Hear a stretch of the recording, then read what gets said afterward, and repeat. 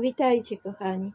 E, Kiedy większość mediów zajmuje się e, sytuacją w Polsce, to dzieje się trochę na świecie i e, chciałam Wam o tym powiedzieć. Przede wszystkim warto pamiętać, że już niedługo odbędzie się kolejne spotkanie kółka przyjaciół w szwajcarskiej, w szwajcarskim uzdrowisku Mm, i właśnie ogłoszono tak zwany Global Risk Report, czyli raport grupy ekspertów e, zaprezentowany przez panią Sadię Zahidi, e, która jest rzecznikiem e, owego klubu i który ma przedstawić globalne zagrożenia, których należy się spodziewać w przyszłym roku, ponieważ należy się zawsze obawiać owych prognostyków, owego kółka przyjaciół, więc warto wiedzieć, co zaplanowali na ten rok. A mianowicie, a może zrobimy inaczej, może Was poproszę, abyście zgadli, co jest ich zdaniem największym zagrożeniem w nadchodzącym roku. Może głód, ceny y, czy- bieda, ponieważ ceny produktów rolnych rosną w tempie błyskawicznym, a rolników praktycznie przymusza się do porzucenia pracy na roli y, i rosną wydatki na wojny. I tu przede wszystkim też takie pytanie, y, jak to jest, że bomby rzucane na mm, i niszczące ogromne przestrzenie, mm, bojowe wozy i, i samoloty nie szkodzą środowisku, a kiedy zjemy jajko, to już jest wielkie niebezpieczeństwo. No i oczywiście ze względu na całą masę ryzyka, e, e, na różne rodzaje ryzyka, nie możemy już na przykład trzymać na podwórku dwóch kurek i koguta. No ale mniejsza o to. Czy y, przyszło Wam do głowy, co jest największym zagrożeniem? No, zagrożenie klimatyczne macie rację też, ale największym wyzwaniem jest coś, co zostało określone jako malinformacja. Dotychczas mieliśmy dezinformację i mizinformację, a teraz mamy nowe pojęcie, a mianowicie malinformacja, czyli złą informację. E, I y, tutaj, y, no cóż, na tej podstawie można by sądzić, że ludzie osiągnęli jakiś poziom bardzo, bardzo niski, mm, kiedy już nie mogą sami ocenić, czy wolą wierzyć, że Ziemia krąży wokół Słońca, czy Słońce wokół Ziemi, także po prostu potrzebują kogoś mądrego, kto będzie oceniał, co jest prawdą, a co nie jest, bo sami po prostu zwyczajnie nie mają pojęcia. Mm, Także największym zagrożeniem jest y, właśnie owa zła informacja. No cóż, idąc y, tym tropem, niedługo po prostu z tegoż samego powodu, iż ludzie nie potrafią podejmować dobrych dla siebie decyzji, zapewne zrezygnuje się w ogóle z możliwości głosowania. No i y, jest też pytanie, jak z tą złą informacją sobie radzić. Jest od razu sugestia, a mianowicie należy się zmobilizować i działać tak, jak w przypadku zarazy, a więc wspólnym frontem. Jednym słowem, należy stworzyć jeden wspólny rząd światowy, stworzony przez mądrzejszych ludzi, którzy wiedzą lepiej, co dla danego człowieka jest dobre, a co dobre nie jest. E, No cóż, w szwajcarskim y, kurorcie y, spotka się ponad, spotkają się głowy ponad 68 państw, tylko 32 państwa nie będą reprezentowane podczas tego spędu, przepraszam, spotkania. Y, Polskę będzie y, reprezentował pan prezydent y, i tam będą prowadzone najważniejsze rozmowy. Mm, Oczekuje się głów państwa, w tym y, przedstawicieli y, rządów y, takich jak amerykański i chiński, które to rządy mają tam właśnie dojść do porozumienia. Raczej trudno spodziewać się, że będzie reprezentowana Rosja, chociaż jak przypominam, mm, Władimir Władimirowicz był jednym z pierwszych młodych globalnych liderów mm, i bliskim przyjacielem samego dziadka Santa Clausa, z którym podobno nadal utrzymuje bliskie kontakty, nie mówiąc o fakcie, że są oni po imieniu. E, natomiast e, w tej chwili zwraca się uwagę, że mamy nową gwiazdę globalną, a mianowicie nowego pana premiera Francji, jako że już jeden pan prezydent, który jest typowym absolwentem szkółki mm, w Szwajcarii, nie wystarczy, więc teraz mamy nowego, najmłodszego w historii Francji premiera, pana, który się nazywa Gabriel Attal i e, który mm, do niedawna nie miał jeszcze żadnego konkretnego programu politycznego. Niemniej jednak został wytypowany jako polityk e, mm, idealny, między innymi i to na miarę czasów, ponieważ jest on jawnym e, kochającym inaczej, także mieści się w takich powiedzmy sobie ilościowych normach mniejszości. E, e, no cóż, e, należy powiedzieć, że w chwili obecnej przedstawiciele kółka towarzyskiego bądź klubu brydżowego ze Szwajcarii chwalą się już wyraźnie, że właściwie rządy wszystkich państw zostały przejęte przez ich ludzi odpowiednio wyedukowanych, no i raczej trudno uwierzyć, że Polska mogłaby być wyjątkiem, więc y, należy mieć oczy po prostu bardzo szeroko otwarte. No cóż, sytuacja taka dotyczy także i Włoch.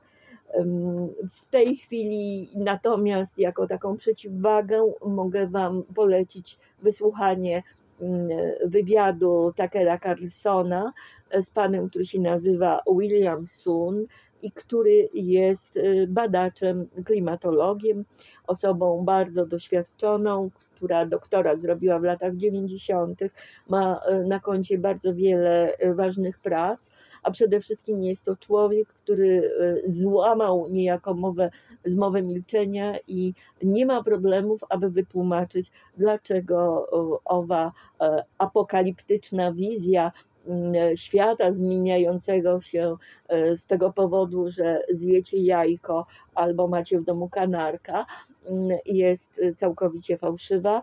Mm, po prostu ze względu na wzgląd nie będę dokładniej komentować tego materiału. Mm, jest on na YouTube, podaję Wam do niego link, a jednocześnie mm, jest możliwość y, wysłuchania, mm, y, znaczy włączenia napisów, y, czyli możecie wysłuchać rozmowy także w języku, który znacie lepiej niż angielski na przykład. Natomiast cóż dzieje się we Włoszech? We Włoszech wielką konsternację wzbudziła, mm, wzbudziła transmisja, mm, która już szokowała mm, w okresie zarazy. Chodzi o audycję Fuori del Coro, czyli poza chórem. Prowadzi ją y, pan, który się nazywa Mario Giordano, który w swoim czasie, y, nie zważając na poprawność polityczną, przedstawiał konkretne dane dotyczące Y, właśnie tego, co działo się we Włoszech w tym okresie. Teraz natomiast zajął się zupełnie inną sprawą, a mianowicie mm, y, zajmując się przede wszystkim przyznawaniem y, mieszkań tak zwanych socjalnych, i przy tej okazji, a mianowicie przy okazji bardzo konkretnego tematu, y, doszedł jego dziennikarze, którzy zbadali sytuację y, we Włoszech od północy po południe i wyspy, doszli do zupełnie szokujących konkluzji. A mianowicie okazało się, że praktycznie nie można już mówić o demokracji stopnia lokalnego a mianowicie, że na stopniu lokalnym nie mamy demokratycznie wybranych y, y, władz, mamy po prostu kliki, które często są od lat, które zmonopolizowały mm, właściwie y, wszystkie struktury dzielnic, te najniższego stopnia i zawładnęły mm, organami decyzyjnymi. I to samo praktycznie, co tutaj widać w mojej dzielnicy, kiedy grupa trzymająca władzę po prostu monopolizuje wybory w ten sposób, że występuje na każdej liście. Ponieważ to, co mówi Mario Giordano, to jest fakt, że na poziomie lokalnym e, ważni są ludzie, a nie podziały polityczne. Także e, po prostu dzięki temu, że istnieją różne listy polityczne, e, ludzie mogą po prostu zadeklarować odpowiednią orientację polityczną i w ten sposób cała grupa przejmuje władzę i decyduje o wszystkim. Tu właśnie między innymi decydowanie o zasobach lokalowych jest bardzo ważne. We Włoszech jest to w tej chwili ogromny problem. E, I e, tutaj okazuje się, że w praktycznie większości e, e, małych, e, na, na szczeblu lokalnym decyzje, decyzjami prawomocnymi mieszkania, nie, mieszkania otrzymują nie ci, którzy na nie naprawdę zasługują, ale po prostu ludzie korzystający ze wsparcia określonych ludzi, a nie prawa. Także jest tutaj pytanie, jak z tym walczyć. Jakie zmiany trzeba przeprowadzić i to bardzo szybko, jak wrócić do lokalnej demokracji, ponieważ, jak mówi y, Mario Giordano, mm, Włochami na stopniu lokalnym rządzą kliki. Innym tematem, który wywołał bardzo dużo, jakby tu powiedzieć, kontrowersji, jest sprawa tak zwanego pozdrowienia rzymskiego i jest to sytuacja związana z rocznicą pewnego bardzo smutnego wydarzenia. Otóż w roku 1978 e, grupa aktywistów lewicowych zamordowała e, trzech młodych działaczy e, tak, partii prawicowej, która się nazywała Movimento Sociale Italiano Mm, i która, której to partii przypisywano profaszystowskie e, e, sympatie, aczkolwiek e, czytając statut owej partii na nic takiego nie można było natrafić. Zresztą mm, mówiąc o Włoszech, chciałam powiedzieć, faszyzm był straszną epoką właściwie dla wszystkich Włochów, nawet dla tych, którzy z niego korzystali, tak jak Mm, na przykład w okolicach Rzymu, e, na tak zwanym Agropontino, e, ludzie e, po prostu znaleźli się w dużo lepszej sytuacji, ponieważ w, okresie międzywojennym władze osuszyły malaryczne bagna i zamiast tego mm, na ich miejscu powstały, znaczy mm, te osuszone bagna stały się e, bardzo żyznymi terenami rolnymi, znanymi na przykład z uprawy karczochów, także dla e, miejscowych była to wielka szansa. Niemniej jednak wszyscy e, zdali sobie sprawę, czym jest ograniczenie wolności i czym jest terror i czym jest zastraszanie społeczeństwa. Także o, myślę, że y, mówienie o jakichkolwiek Y, tego typu sympatiach jest absolutnie oderwane, y, jest niezgodne zresztą z mentalnością Włochów. I tu chciałam jeszcze przypomnieć, że ruchy totalitarne w międzywojennej Europie to były ruchy lewicowe, nie ruchy prawicowe. Y, właśnie po I wojnie światowej widzieliśmy taką, nazwijmy, ogromną zmianę, jeśli chodzi o ruchy lewicowe, które z ruchów które miały wspomagać, wspierać e, najbiedniejszych, najbardziej uciśnionych, same stały się e, uciskającymi. I e, tutaj właśnie w kolejną rocznicę mm, tego bardzo przykrego wydarzenia, które nosi nazwę, popularnie nazywa się go Stradże, czyli Accalarencja, czyli rzeź przy ulicy Accalarencja, ponieważ tam właśnie znajdowała się siedziba owej partii. Mm, I tutaj z racji tej rocznicy zorganizowano taką coś w rodzaju wiecu ulicznego w tym miejscu. Mm, I e, wówczas, jak twierdzą służby, pięć osób dokonało, wykonało gest tak zwanego pozdrowienia e, rzymskiego. No i tutaj kwestia, co to jest to pozdrowienie rzymskie. Zdaniem niektórych to ów gest, który widzimy u międzywojennych dyktatorów, którzy wyciągają wyprostowaną dłoń. E, I e, zostało to oczywiście zakazane i zostało uznane za e, symbol powiedzmy sobie tego ruchu, podobnie jak swastyka, a tu przypominam, że swastyka znana była już w starożytnych Indiach i była uznana za mm, symbol kontynuacji, symbol wieczności, takiego perpetuum mobile, czyli czegoś, co się stale powtarza, ciągłości czasu. Także nikt y, z totalitarnych przywódców tego nie wymyślił. I podobnie było zresztą z owym rzymskim pozdrowieniem. E, oczywiście e, w tej chwili możecie w niektórych mediach znaleźć, że to nieprawda, że czegoś takiego nie było, aczkolwiek wystarczy spojrzeć na e, statuę mm, Marka Aureliusza, to notabene jeden z nielicznych posągów mm, pogańskich imperatorów, który został zachowany, ale tylko przez pomyłkę, ponieważ w średniowieczu przypuszczano, że to jest postać chrześcijańskiego cesarza Konstantyna, podczas kiedy w rzeczywistości to Marek Aureliusz.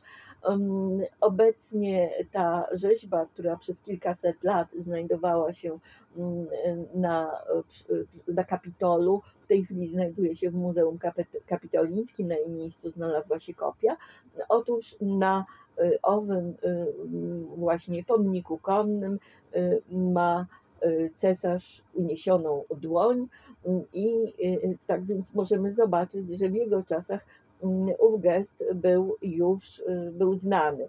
Y, jeśli sięgniemy do literatury mm, łacińskiej, to warto przypomnieć, iż Cycero podaje, że Oktawian August, przysięgając zemstę mm, mordercom Cezara, uniósł właśnie dłoń, wskazując na posąg imperatora.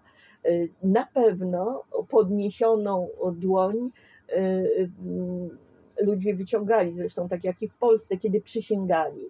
Możemy zresztą to zobaczyć także na obrazach przedstawiających sceny rzymskie, jak przysięgę Horacjuszy, na przykład Dawida, czyli obraz XIX-wieczny.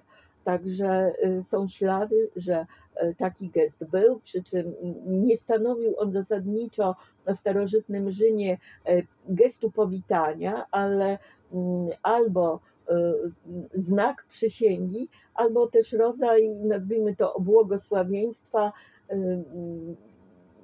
które, które ze strony właśnie władcy bądź dowódcy wojskowego. I tutaj właściwie, no cóż mówić, takie gesty istniały i Fabio Duranti mówi, że jeszcze w średnio, że udało mi się znaleźć mm, jeszcze pewną genezę, a mianowicie w średniowiecznym Rzymie e, taki gest był bardzo często spotykany. Dlaczego? Dlatego, że były to czasy mm, wielu wojen domowych. Y, właściwie e, jeśli znacie wczesną średniowieczną historię, e, to wiadomo, że mm, po upadku Cesarstwa Rzymskiego mm, dochodziło do bardzo wielu takich e, mm, wojen między grupami rodzinnymi, wystarczy poczytać Dantego i e, właściwie wieczne miasto, podobnie jak wiele innych włoskich miast, to były po prostu twierdze, wieże. Każda rodzina posiadała taką małą własną twierdzę i ów gest, a mianowicie pozdrowienie otwartą dłonią, po prostu był dowodem czystych intencji, ponieważ y, w ten sposób było wiadomo, że w dłoni nie kryje się na przykład sztylet czy inna broń. Także y, stąd y, taka geneza owego gestu. Wiadomo, że we Włoszech gest ten niejako wskrzesił y, do życia y, poeta y, o powiedzmy sobie, no właściwie jeden z owych bardów tej niedobrej epoki, Gabriele D'Annunzio, uważany za niemalże ojca literatury Niemniej jednak mnie się jego poezje bardzo nie podobają i ani jego styl do mnie nie przemawia, ani tematy, które porusza, ani emocje, które wywołuje.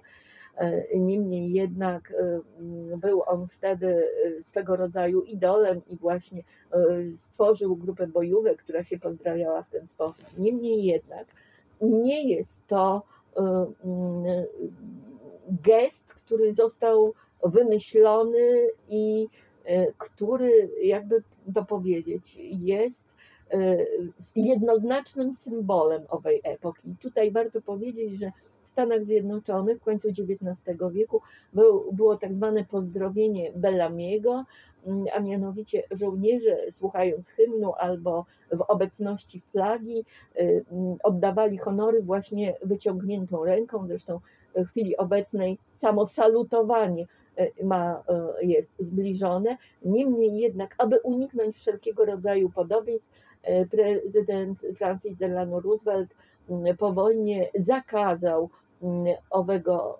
oddawania honorów w tej chwili, słuchając hymnu albo w obecności flagi, żołnierze mają po prostu kłaść rękę na serce. Niemniej jednak salut wojskowy y, nadal pozostał w tej formie i raczej nikt nie przypisuje mm, mu jakiegoś y, dwuznacznego znaczenia. E, jakiejś dwuznaczności. I e, tutaj e, właściwie temat jest też inny. Wytłumaczyłam wam, genezę, żeby zrozumieć, że szczególnie we Włoszech trudno mówić o jakichkolwiek ruchach, które mogłyby przywoływać te straszne ideologie. I tutaj Diego Fusaro określił to bardzo dobrze, że w czasach, kiedy w czasach terroru rzeczywiście antyfaszyzm był y, czymś bohaterskim. Natomiast w chwili obecnej, kiedy się doszukuje jakichkolwiek powiązań tego typu, widzimy to także i w Polsce, jest to po prostu y, działanie zdecydowanie y, wymierzone przeciwko ludzkiej wolności, dlatego że antyfaszyzm w czasach, kiedy faszyzmu nie ma, sam e, zaczyna przejawiać tendencje totalitarne, mm, o czym warto opamiętać. I tutaj to mm, jest jeszcze taki specyficzny zabieg, jak już powiedziałam, wszystkie systemy totalitarne są to ruchy lewicowe, podczas gdy ruchy prawicowe y, odrzucają totalitaryzm, ponieważ dla prawicy celem do osiągnięcia jest wolność. Wolność jednostki, wolność narodu, wolność decydowania o sobie, e, wolna wola. Natomiast dla lewicy celem jest osiągnięcie równości e, wszystkich, a to nie równa się wcale z wolnością, a nawet wprost przeciwnie. Dobrze, kochani, to wszystko, co, co miałam Wam dzisiaj do powiedzenia. Pozdrawiam Was bardzo serdecznie. Życzę spokojnej nocy.